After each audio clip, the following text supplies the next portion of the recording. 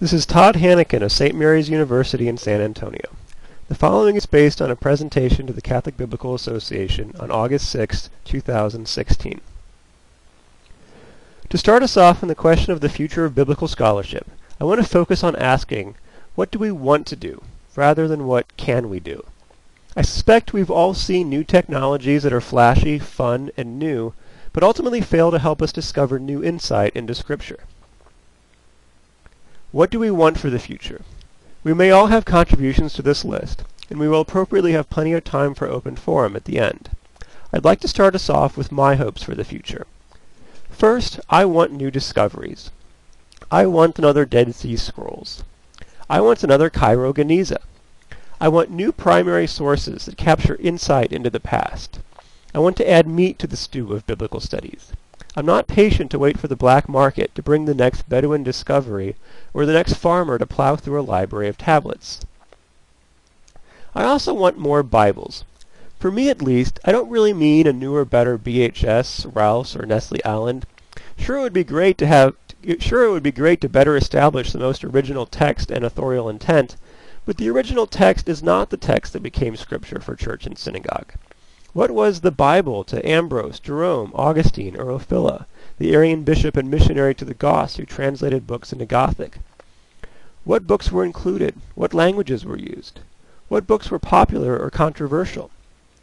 What did Jerome think of Fourth Ezra? What did Porphyry think of Daniel? When and where do we find copies and citations of Jubilees? When and where was the Song of Songs discussed? What did people choose to write commentaries on? What if we could click on a map, select a century, and know what books and recensions are attested? What if we could open an image of a manuscript from that time and place and look for evidence of how the scriptures were used and experienced? What notes in the margins give evidence of liturgical proclamation and study? Third, I want to share experiences of the past with my students. I would love to be able to bring my students to all the museums and sites I have been privileged enough to visit. And yet I can honestly say that visiting the Shrine of the Book in Jerusalem was less moving to me and less formative of me as a scholar than a certain moment in the classroom. It was the time my Hebrew teacher handed me a copy of John Trever's photo reproduction of the great Isaiah scroll and asked me to prepare chapter 40 for the next class. This came after many sleepless nights with Lambdin, BHS, and Waltke and O'Connor. I had grown accustomed to a certain font, footnotes, chapter and verse indicators, vowels, and line breaks in poetry. I thought I had been reading Scripture as it existed in ancient Israel and Second Temple Judaism, but of course I was wrong. I was provided with images, images of the scroll and each column both in color and in monochrome. I was left to myself to explore the significance of vacats and corrections between lines or in margins. As a reader of Scripture, there were leaps from reading NAB to BHS, from reading BHS to photographic plates, and from reading photographic plates to reading originals behind glass. For me, the most profound leap was the leap to photographic plates. My point is this. I want to share experiences of antiquity with my students, and I don't think I need a time machine or, or international flights to do so. Not that I would turn down offers for either. What do we want for the future? I think I can boil my boil down my desires to two categories, which I suspect would cover many of our individual desires: discovery and access. I'd like to take each in turn and talk about what is on the horizon and how it will benefit the future of biblical scholarship. I'd like to use the term digital archaeology to encompass all the new tools we can use to discover and provide access to evidence of the past. The difference is that the digits in question are not the ten fingers with dirt and sand under the fingernails, but the new tools provided for us by science and computers. There are numerous new tools for discovery that aid conventional archaeology. Some of you may be aware of Sarah Parcak's work using satellite imagery to identify sites of ancient ruins based on the principle that plants grow differently depending on whether there is loose soil or stones buried shallowly beneath them. For me, the most exciting potential for new discovery lies in palimpsests. Palimpsests are manuscripts, usually parchment, that were erased and reused to copy a second text. Before paper became cheaply available in the West, this was a common practice. Especially in times of famine, it was easier to pull an undesired book out of the recycle bin and rescrape the surface than it was to kill an animal and process the skin into parchment. For me, it only adds intrigue that the erased writings were those judged undesirable. That could include books excluded from the canon, such as Jubilees, or recensions, translations, and commentaries deemed suspect or second rate. Even heretical writings that were valued no more than the parchment on which they were written were still pretty valuable. Parchment could also be recycled in this way if it was outdated, as with a liturgical text, or too cumbersome, as with Origen's hexapla. We know of a Synod decree, decree in 691 abolishing the rescraping of biblical manuscripts, which tells us that biblical manuscripts were being palimpsested at least up until this time. On the one hand, palimpsestation is a destructive process. But on the other hand, it gives the ancient writing a renewed purpose and utility for it to be conserved.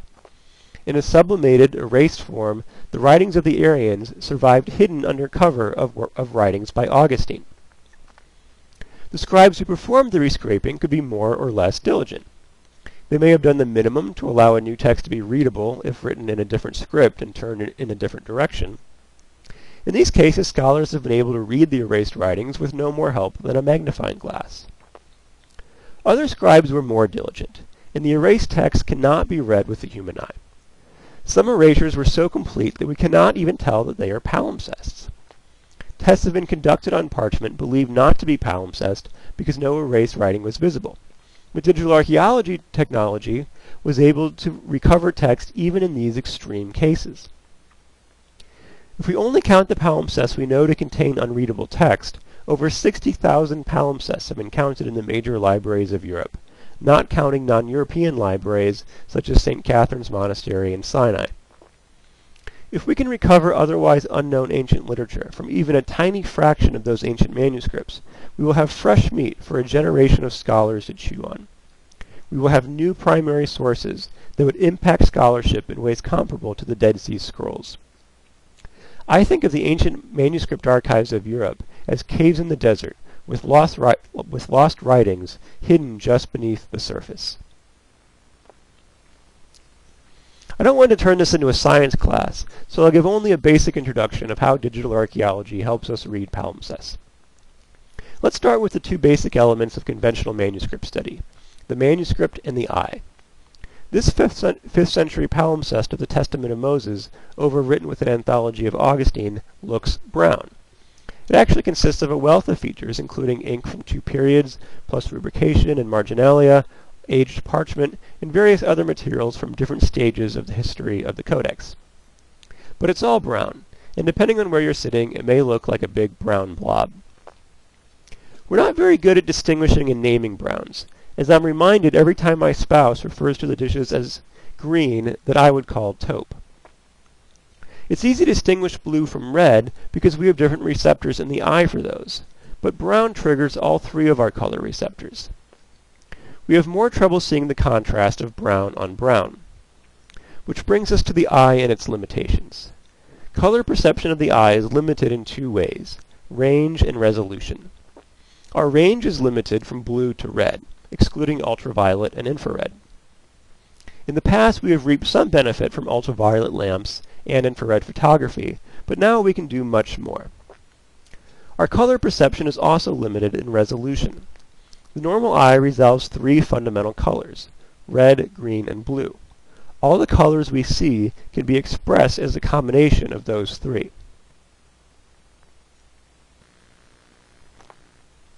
When we look at a rainbow, the full spectrum of color reaches our eyes, but we see that spectrum in bands because we cannot distinguish one end of the red band from the other.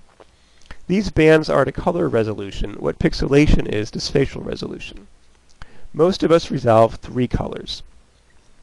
Someone with only two kinds of receptors is called colorblind. But what if I could resolve four?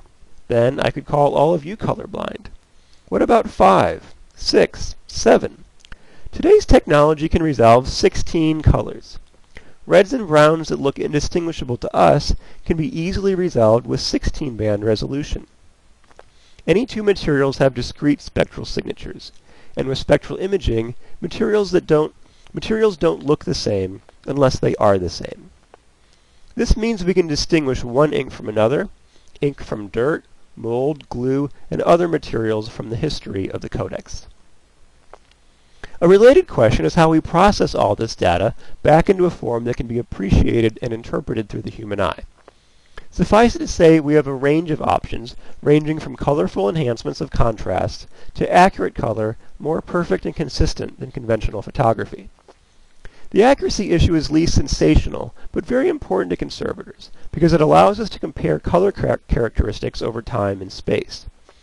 If two parchments and ink palettes are identical, we might infer that they came from the same scribal workshop, even if they are now thousands of miles apart. There is at least one other, one other perception that I count as essential, and that is texture. Even good photographs, such as the photo edition of the Great Isaiah Scroll, have trouble answering basic questions. We may see a dark spot in a photo, but don't know if it is raised, recessed, or flat. We don't know how thick it is. It can be difficult to judge if parchment has shrunk, stretched, or otherwise dis distorted. The scores and punctures used by scribes to line a writing may remain only in texture, and similarly dry point notation. The most important way in which texture is important for studying palimpsests is that sometimes we can read the outline of letters where ink had once corroded the surface of the parchment. Even if the ink is completely removed now, the effect on the parchment remains. You may have seen extreme cases when we can read the shape of a letter in a hole where the ink is eaten all the way through. More often the corrosion does not reach past the surface, but that is enough. If you've ever had a chance to sit back and observe people working in a manuscript reading room, you might have noticed how much movement there is. People move their heads to different angles, or move the object, or move the light, and all of this is getting at texture. We perceive texture from how highlights and shadows change as the light moves. Reflectance transformation imaging, or RTI, is a fancy way of saying we can capture very fine texture, down to the level of each pixel. We can capture rough and smooth, raised and recessed, thick and thin. Not only can we capture it, we can render it interactively. What you see on screen is pre-recorded to save time, but the point is that we can interact with the image by moving the light around and enhancing the texture. Some of this has been around for 10 years or so. A more recent development is that now this can all be done in any web, browser, even on a smartphone, with no software to download, install, or configure.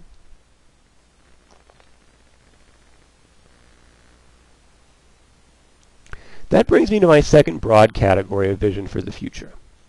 After we create images that allow people to discover new information about the past, we need to, we need to make those images accessible to everyone. To think about our vision for the future and how we want information to be accessible, I'd like to formulate the question, again, not just in terms of what we can do now, but the ideal to which we might aspire. The question then becomes, is there a substitute for first-hand experience? There are a couple of ways in which we can answer yes. Starting with the basics, yes if you can't afford to travel. First-hand experience requires geographic proximity, but the community of scripture scholars today is global. Most of us will never see manuscript or archaeological evidence firsthand, or if we do, it will be long after it has been interpreted and presented in a museum. So the question really becomes, are we content to let one or two editors interpret evidence for us, or do we and our students want to experience discovery ourselves from the very beginning? Once something is digitized, it can be duplicated without loss, which could not be said of microfilm and plaster casts. And it can be transmitted cheaply through media such as the internet. Going back to the photographic edition of the Great Isaiah Scroll, it was not easy to produce or cheap to purchase, and if I tried to photocopy it, the quality suffered greatly. For the vast majority of biblicists, literal first-hand access was never possible anyway. But we can go further. Yes, there is a substitute for first-hand experience if your hands are bad for the artifact's conservation, or in this case, your cigarette. Museums and manuscript libraries face a real dilemma in trying to balance opportunity for study and caution in conservation. We used to make plaster casts of objects such as Hammurabi stele and the Moabite stone. but those copies were not perfectly safe or perfectly high quality, and they only mildly increased access. Similarly, yes, there is a substitute for first-hand experience if the artifact is behind glass and can't be manipulated. Most of the artifacts that I have seen, I was in no position to do scholarship on. For example, I technically saw the Siloam Tunnel inscription, but only technically. I stumbled upon it in a dark corner of the Istanbul Archaeological Museum, but it was behind thick plexiglass, and the faint diffuse light gave me no real hope of catching enough shadows to read much of the inscription myself. I would have been far better off with an RTI image because I could have interacted with it and visualized the texture. We can keep going. Yes, there is a substitute for first-hand inspection if the artifact is removed from its context. The Siloam Tunnel inscription is not in the Siloam Tunnel. The Kings of Tyre mummies are not in the Kings of Tyre tombs. The Dura Europos synagogue frescoes are not in Dura Europos, and no longer next door to the Dura Europos church. Perhaps we're used to using our imaginations in these situations. But what about codices that have been divided and split between several libraries? Or collections from an excavation that have been divided between several museums? Once the constituent parts are digitized, they can be reconstructed and reassembled as if they had never been divided. And if they have been removed from their original context, they can be resituated in 3D models. I think we can go even further. I believe that in the future, digital archaeology will be more powerful than first-hand experience not just more democratic and better at recreating context, the digital facsimile will be more capable than the original. A facsimile can improve on first-hand experience if the markings you are looking for are not visible to the human eye.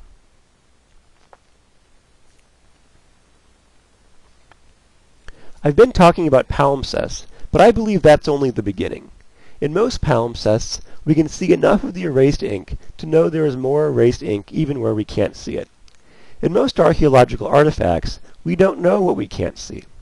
We rely on archaeologists to distinguish meaningless dirt from meaningful evidence in the glance of an eye, and we, and we rely on editors to notice anything important.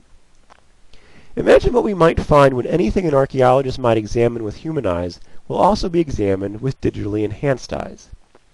Even for objects already in museums, imagine if we combine the advanced technologies with democratized access such that more data will be studied by more people. Briefly, one more point might anticipate more of what the second panelist will address. A facsimile can improve on first-hand experience if it is integrated with all the tools for study and collaboration you might want.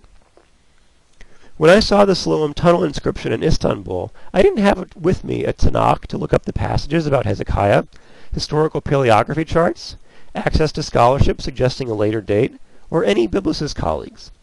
What if all the supporting evidence, enhancements, and collaborations were integrated into the research environment?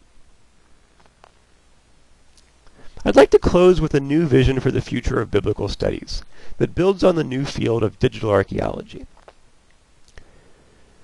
Digital archaeology can work with traditional digs, but more importantly, can excavate evidence hidden in artifacts already in museums and libraries.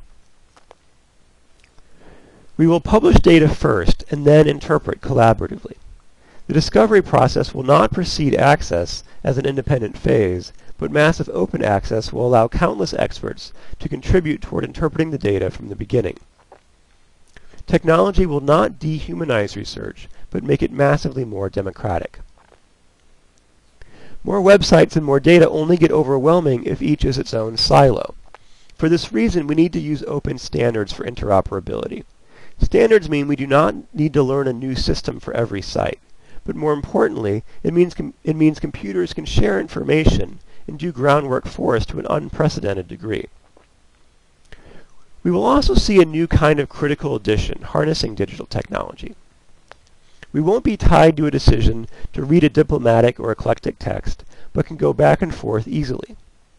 Local and historical variations won't be buried in the apparatus, and we will be able to read a text continuously even if it is not the best witness of the most original text. There will be no limit on plates. We will be able to link directly not just to an image, but a region of an image with the enhancement and light position that supports our interpretation. The reader can then open and interact with the images to test for alternate interpretations. We won't require any one editor to do everything, and we won't be limited to the concerns of that editor. Last but not least, my vision for the future is to bring it all back to the classroom. The experiences that we had separately, as lecture, reading, summer digs, museum visits, special collections visits, and original research, will be available to anyone in the classroom with a screen, and that is everyone. I see this not as only not, as not only making our jobs easier, but inspiring a new generation to fall in love with continuing our profession after us. Thank you.